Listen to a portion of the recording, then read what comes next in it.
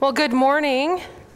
It's good to see you all here today. I'm so glad that we are gathered today to worship. I am Pastor Andrea Paulson. If you're visiting us today, we are glad that you are here.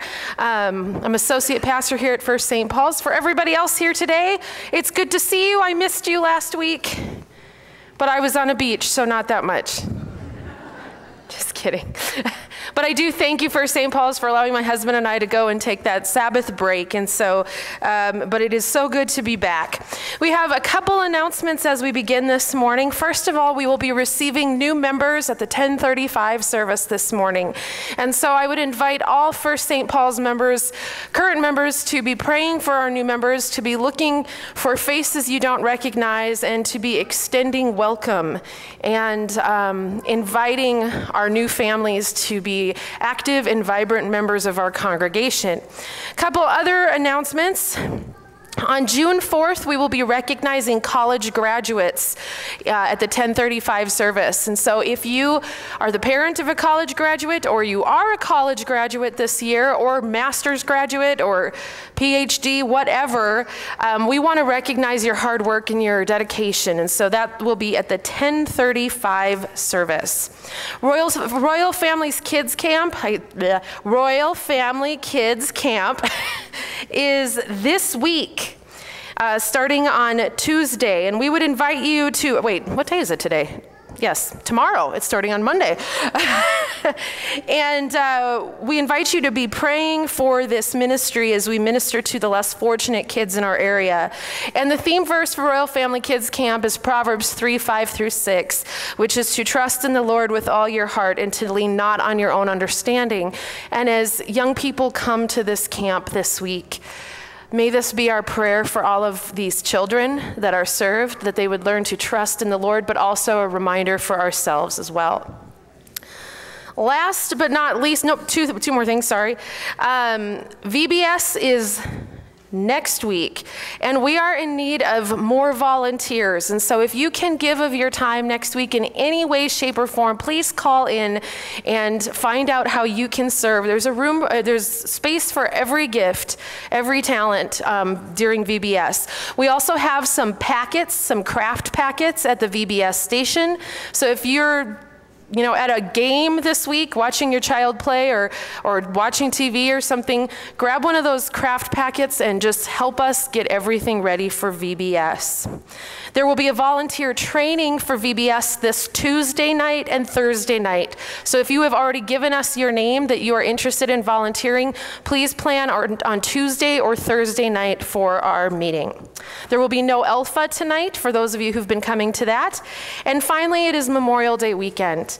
And so on Memorial Day weekend, we honor those who gave their lives um, serving our country. And so if you are the family of a military member who who gave the ultimate sacrifice. We are praying for you. And if you have served in our military at any time or are current serving, just know that we are so thankful for the gift of service and the sacrifice that means for your family.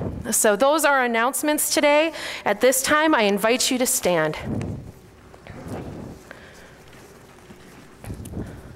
The peace of Christ be with you always.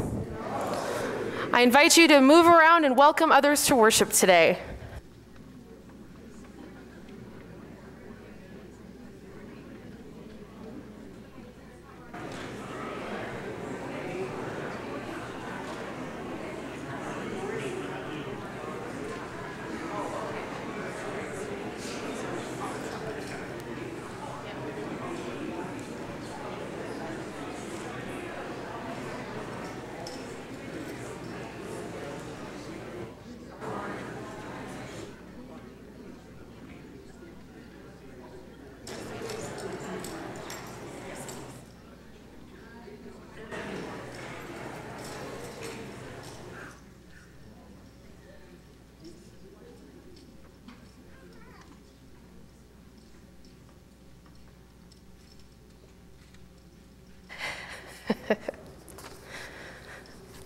and now we join together as a united body of Christ for confession and forgiveness.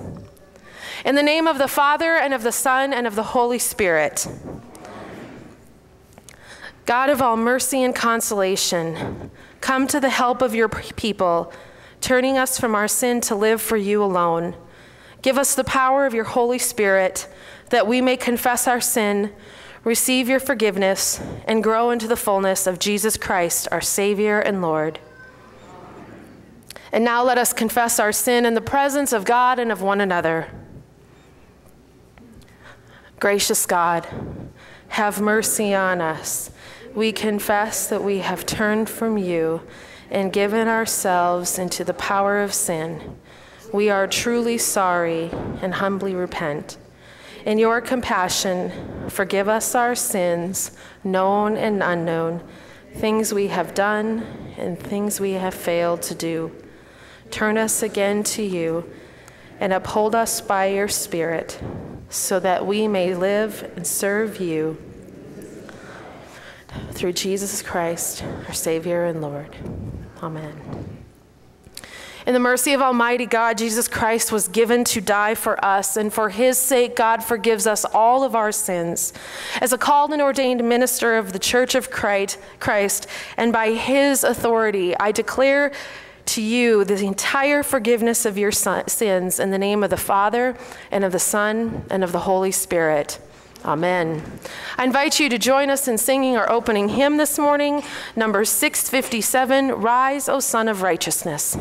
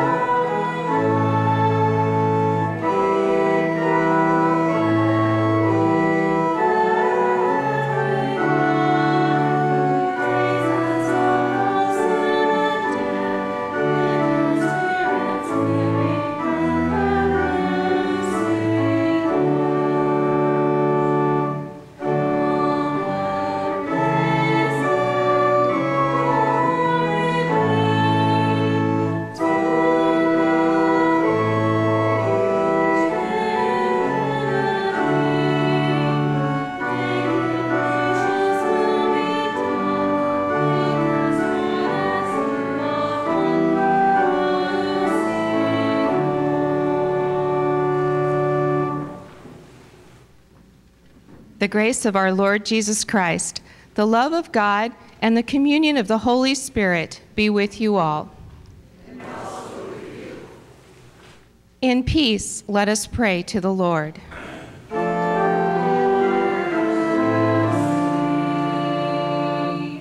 For the peace from above and for our salvation, let us pray to the Lord.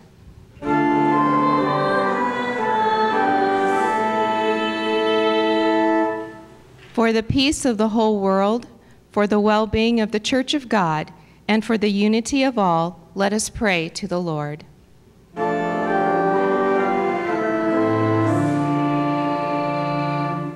For this holy house, and for all who offer here their worship and praise, let us pray to the Lord.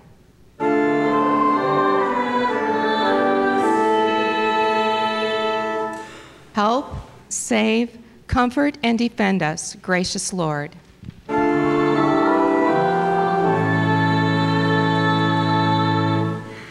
Glory to God in the highest, and peace to God's people on earth.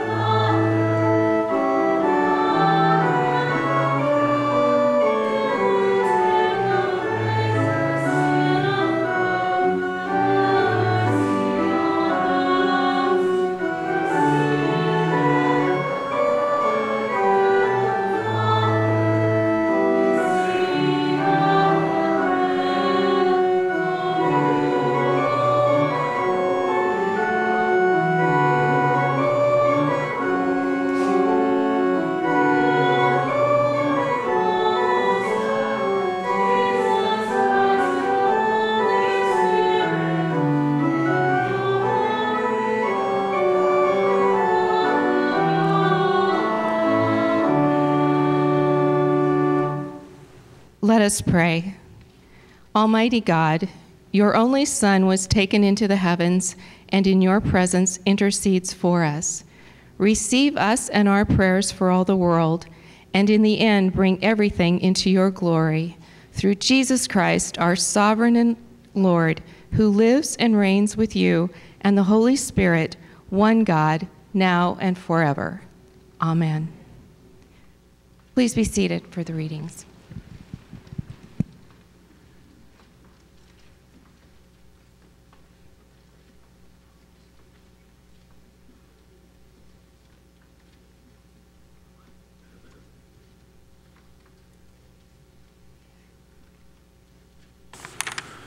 The first reading is from Acts, the first chapter, verses 6 through 14. These may be found on pages 884 and 885 in the Bibles located in the pews. When the apostles had come together, they asked Jesus, Lord, is this the time when you you will restore the kingdom to Israel? He replied, It is not for you to know the times or the periods that the Father has set by his own authority but you will receive power when the Holy Spirit has come upon you, and you will be my witnesses in Jerusalem, in all Judea and Samaria, and to the ends of the earth. When he had said this, as they were watching, he was lifted up, and a cloud took him out of their sight. While he was going, and they were gazing up toward heaven, suddenly two men in white robes stood by them. They said, Men of Galilee, why do you stand looking up toward heaven? This Jesus, who has been taken up from you into heaven will come in the same way as you saw him go into heaven. Then they returned to Jerusalem from the mount called Olivet, which is near Jerusalem, a Sabbath day's journey away. When they had entered the city, they went to the room upstairs where they were staying Peter and John, and James and Andrew, Philip and Thomas, Bartholomew and Matthew, James, son of Alphaeus, and Simon the Zealot and Judas, son of James. All these were constantly devoting themselves to prayer, together with certain women, including Mary, the mother of Jesus, as well as his brothers. Here ends the first reading. The second reading is from the fifth chapter of 1 Peter, verses 6 through 11. And this may be found on page 986 in the Bibles located in the pews. Humble, humble yourselves, therefore, under the mighty hand of God so that he may exalt you in due time. Cast all your anxiety on him because he cares for you. Discipline yourselves, keep alert. Like a roaring lion, your adversary, the devil, prowls around looking for someone to devour. Resist him, steadfast in your faith, for you know that your brothers and sisters in all the world are undergoing the same kinds of suffering.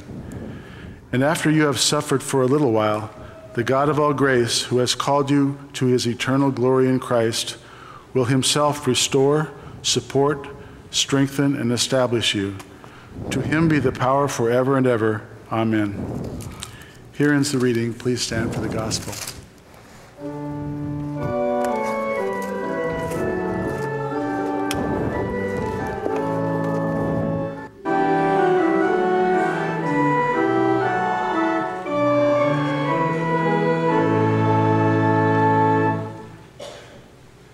Our gospel passage today is from John chapter 17, and this can be found on page 879 of the Bibles you have before you. The Holy Gospel according to John, the 17th chapter. After Jesus had spoken these words, he looked up to heaven and he said, Father, the hour has come. Glorify your Son, so that the Son may glorify you. Since you have given him authority over all people to give eternal life to all, all whom you have given him. And this is eternal life, that they may know you, the only true God, and Jesus Christ, whom you have sent. I glorified you on earth by finishing the work that you gave me to do. So now, Father, glorify me in your own presence with the glory that I had in your presence before the world existed. I have made your name known to those whom you gave me from the world. They were yours, and you gave them to me, and they have kept your word. Now they know that everything you have given me is from you. For the words that you gave me, I have given to them, and they have received them, and they know in truth that I came from you, and they have believed that you sent me. I am asking on their behalf. I am not asking on behalf of the world, but on behalf of those whom you gave me, because they are yours. All mine are yours, and yours are mine, and I have been glorified in them. And now I am no longer in the world, but they are in the world. And I am coming to you.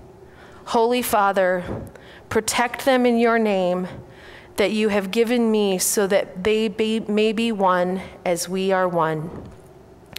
The gospel of our Lord. Our hymn is number 759 My Faith Looks Up to Thee.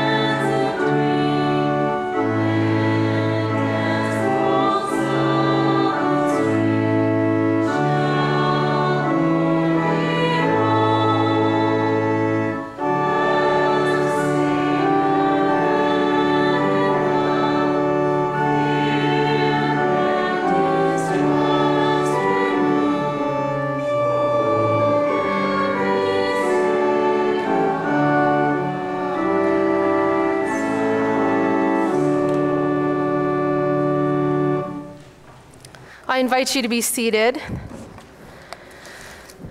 And also open up your Bibles to that First Peter chapter because that's we're going to be talking about that this morning, First Peter. You know, as I was thinking about this First Peter chapter passage this morning, I started thinking about how our culture has many perceptions of Satan or the enemy or the devil. Turn to your neighbor and tell them one cultural perception of who the devil is. What does the devil look like? How are they dressed? What do they carry?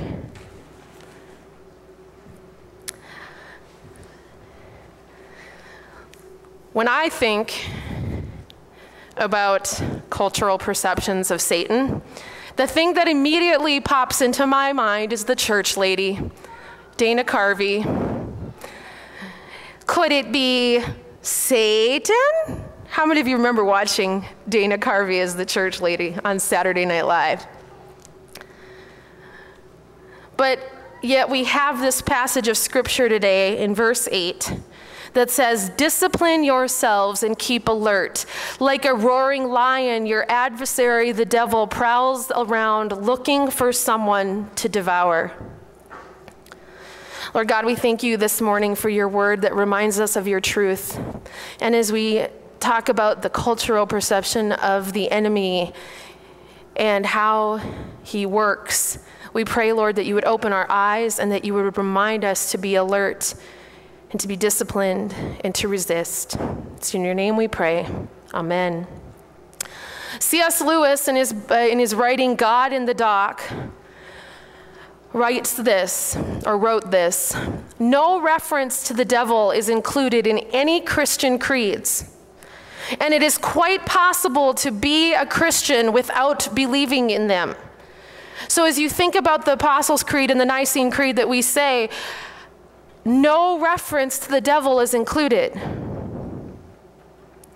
And I have to say that I agree with what C.S. Lewis was observing at the time that he wrote. I agree that it is possible to be a confessional Christian, a confessional Lutheran, and still not believe in the devil. Or if we do believe that there is Satan or devil, it's kind of an out there belief. We don't really talk about it because if we start talking about the devil or Satan, then we are the fundamentalist church lady, and people will probably wonder when we're bringing out the snakes and the tongues. But the truth of the matter is that if it is in God's word, then we cannot simply talk about evil in the world. We have to talk about what God's word tells us about where evil comes from. And if it isn't God's word, then we must equip ourselves with knowledge about who God says He is, but who He also says the enemy is, so that we can stand firm and resist. So, who is the adversary, this roaring lion? The term devil, when we think of that, we think red pitchfork and horns.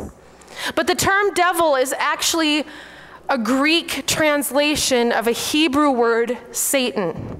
And what's interesting as I was studying for this is that the Hebrew word Satan, I didn't have to take Hebrew. I think I got it easy there. I just had to do Greek.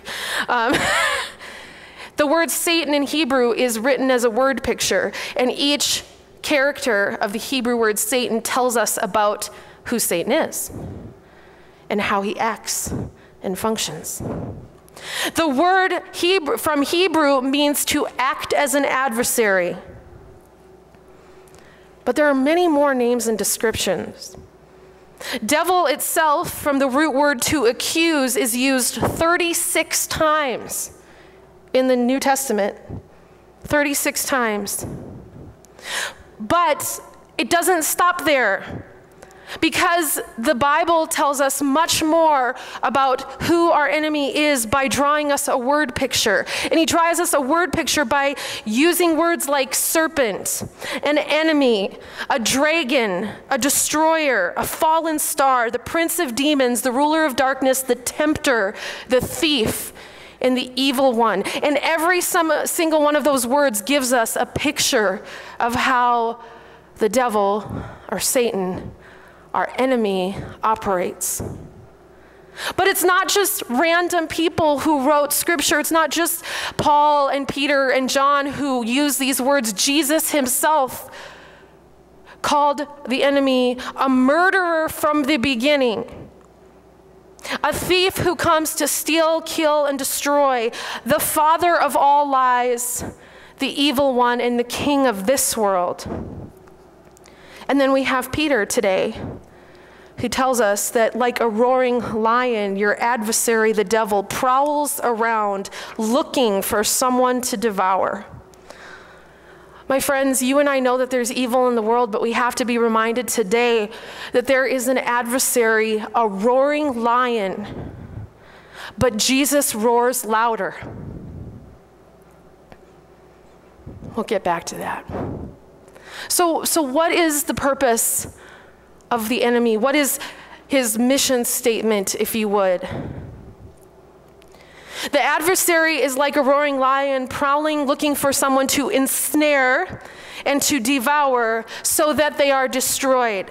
So, how does the enemy devour people? Two ways.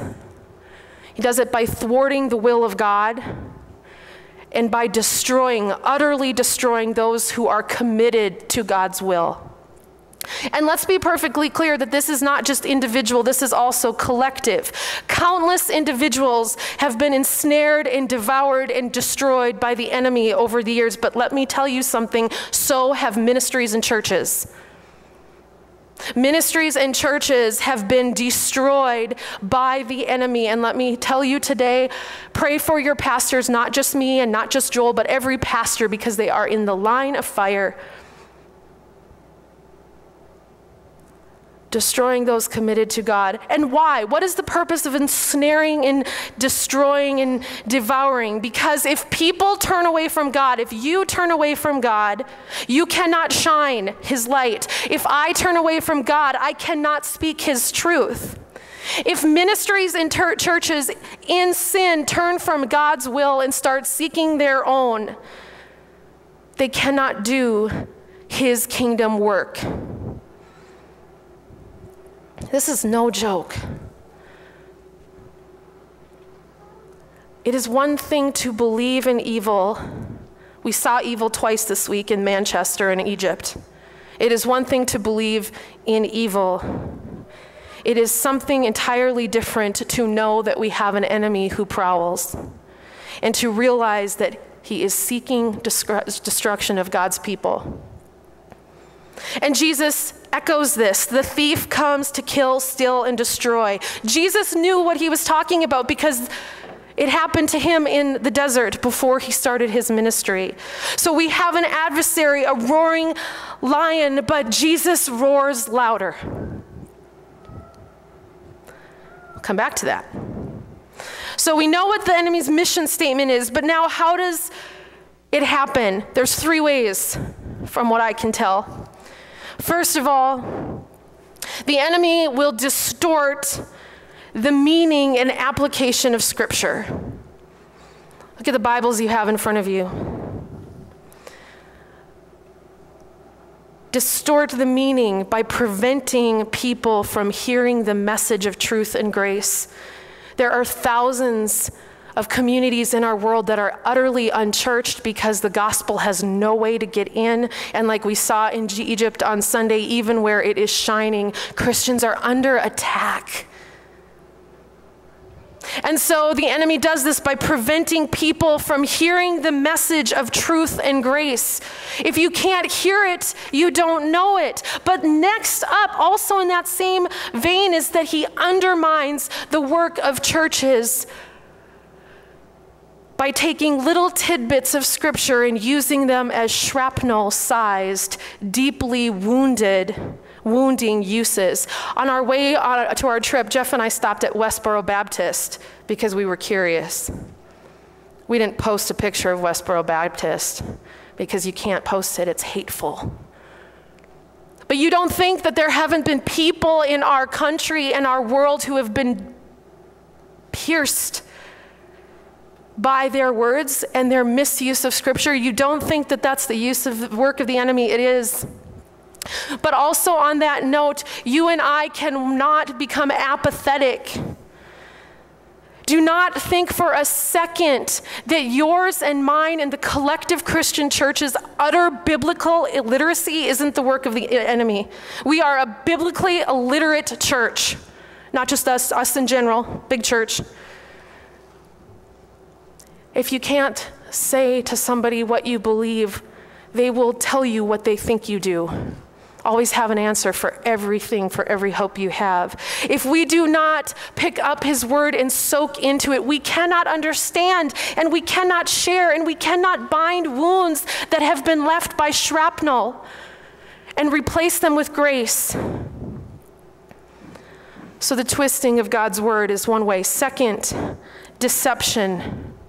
The thing is that the enemy wants to convince you and I that our situation is the worst that it could ever be.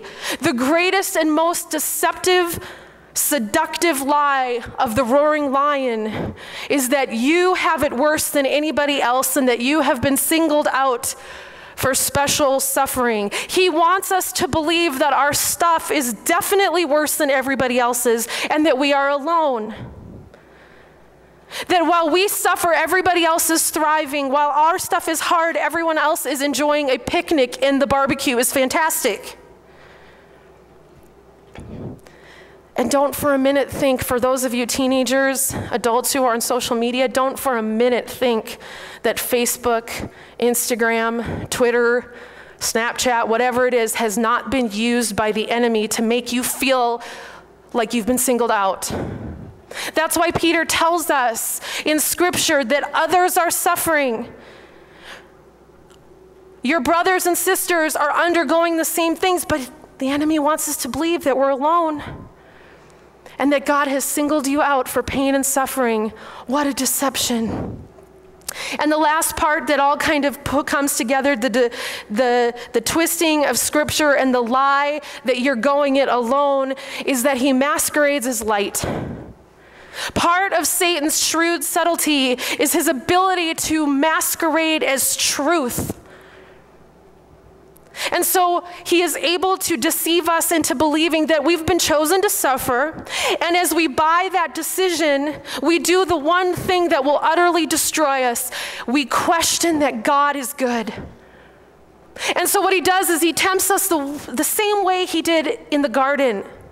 Did God really say? Did, did God really say not to do that? Did God really say not to cheat on your spouse? Did God really say not to turn to alcohol? Did God really say not to cut? Did God really say? We trade the truth of a God for a lie because we doubt God's goodness, because we have bought the deception and we have turned from His word. And see, what happens is when we draw away from God, we wallow more in our suffering, we buy more deception, and we start doing things that we hope will make the pain and misery go away. But in the end, it kills and it steals and it destroys. Do you see it? Like a roaring lion, our adversary, the devil, prowls around looking for someone to devour. And let me tell you, if you can't tell, when I was studying this, I have seen how this has happened in my own life. Distortion and application of God's word. Check, yes, okay, that, yep, been there. Deception that my suffering is worse than everybody else's. Check, check. Questioning God's goodness. Triple check. It is the enemy's playbook. It is better any, than any Super Bowl winning team to kill your faith and to steal your joy, and in doing so, destroy your life. There is an adversary, a roaring lion, but Jesus roars louder. So, what about this louder roar? We know from Scripture that there is a roaring lion, but let me tell you that there is Jesus, the lion of Judah, who roars louder. In the gospel passage today from John 17, Jesus is about to go to the cross. And he is praying to God the Father for the disciples and the believers. And he prays that God would protect us and them from the evil one, and that we would be sanctified by the truth. And the truth is, the truth is this morning that Satan may have power and may seem to have strength, but Jesus Christ through God has ultimate and complete power, and even more than that, victory. Victory. When we look at the cross, we see the victory of Christ. The empty grave reminds us that while it may seem that the enemy is on the game, he is already defeated. The game is over. And there's more. We know that when we have faith in Christ, that even when we stumble, his death took the punishment for sin. And the verdict for you and I, when we are deceived and when we turn from God, is that the verdict is not guilty, and we can never be separated from the love of Christ. It is grace upon grace upon grace. And I don't know about you, but I hear the lion of Judah roar. Roar louder. And so, for Monday, as we take this message and we think about this and marinate in God's grace and truth, we move forward with a few things that Peter gives us as advice. First, keep alert. Recognize that there is an enemy on the prowl. Keep alert by reflecting on where you slip and where you struggle or where you stumble. And then resist. Be aware of the playbook and lies and deception resist the temptation to question the goodness of God or to believe that you've been singled out. And then discipline yourself. Discipline yourself to dig into God's word. Maybe you've been reading the Bible daily your whole life. Maybe you've never picked it up outside of church. Dig into God's word. Bathe in truth and grace because we are in God's word, we are reminded of his purpose, we are reminded of his truth, and the Holy Spirit gives us the power to say boldly, Step off, Satan, you've got nothing on me. And then we are transformed. We keep alert and we resist and we discipline ourselves. And as we do so, we reminded that there is an adversary, there is a roaring lion. But Jesus, the lion of Judah, the Savior and Messiah, is from everlasting to everlasting louder. And in his loud roar, he restores and he supports and he strengthens and he establishes us. And to him be the power and all the glory forever and ever. Amen. I invite you to stand and sing with me number 742 What a Friend We Have in Jesus.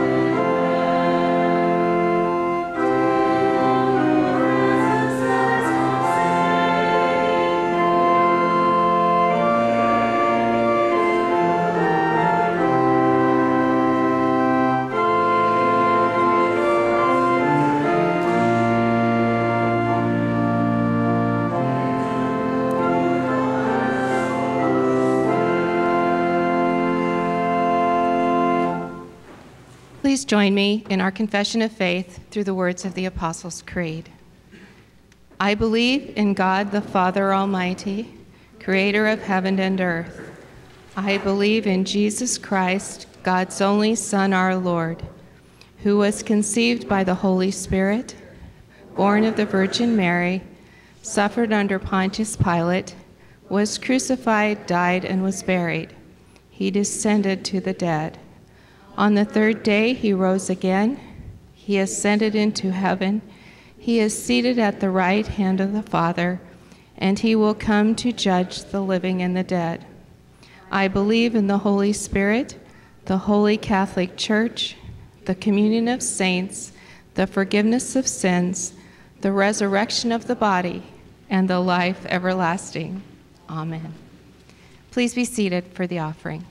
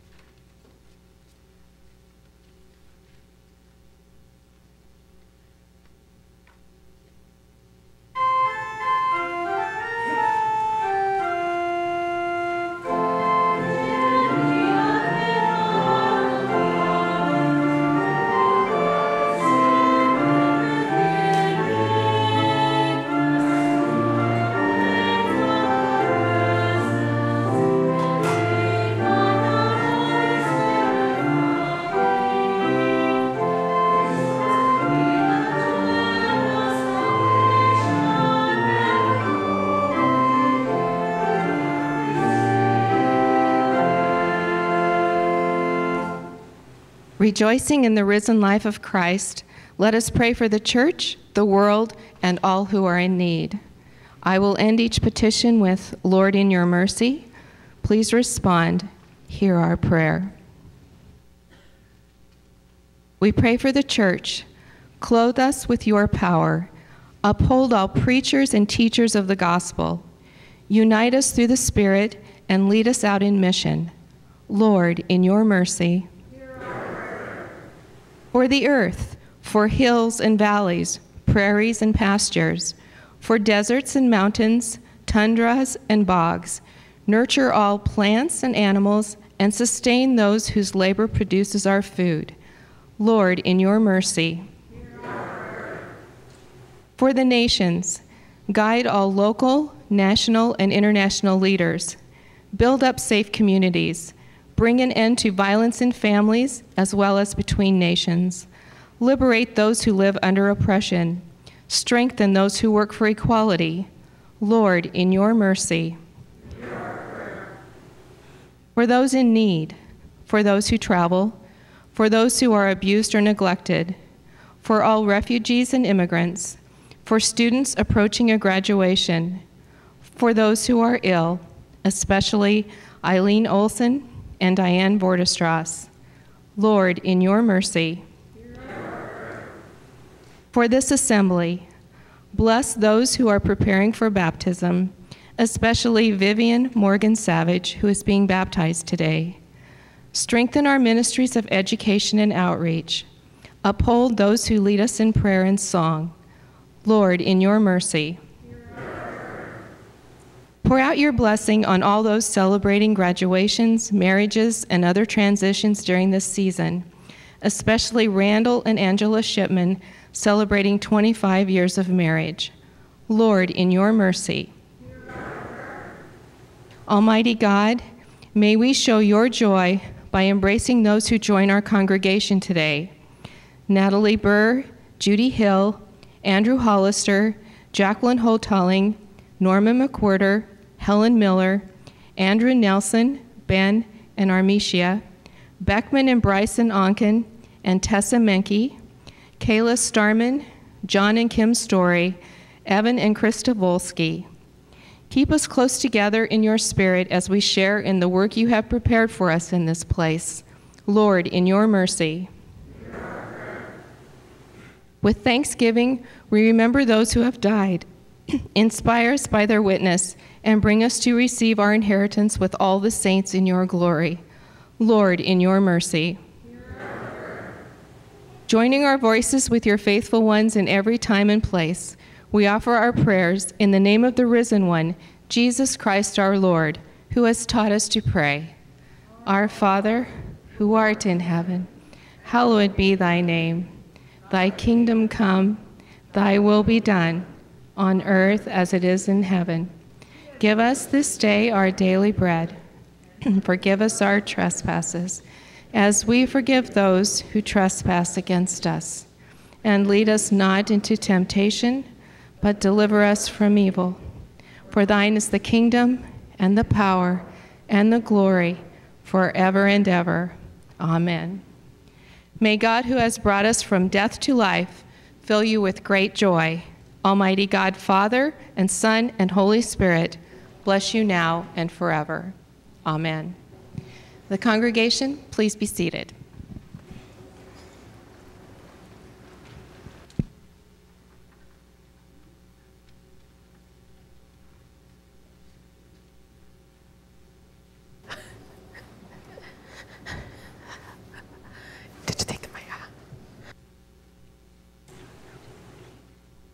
Good morning. Just a couple announcements really quick. Andrea already kind of covered um, the VBS volunteers, so I'm going to kind of just extend an extra request that if you think of it during the week, just be praying for that. Um, we have a lot of kids coming. We actually hung door knockers on houses throughout the entire neighborhood. So, um, as much as we're excited to have all these little kids, we also need volunteers to accommodate those needs. So, if you could be praying um, for that cause, that would be awesome. The other thing is Summer Sunday School.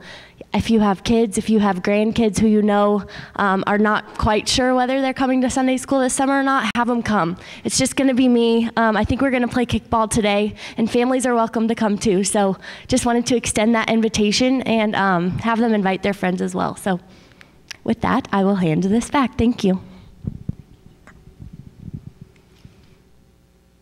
Um, congregation, please stand, and our closing hymn is hymn number 662.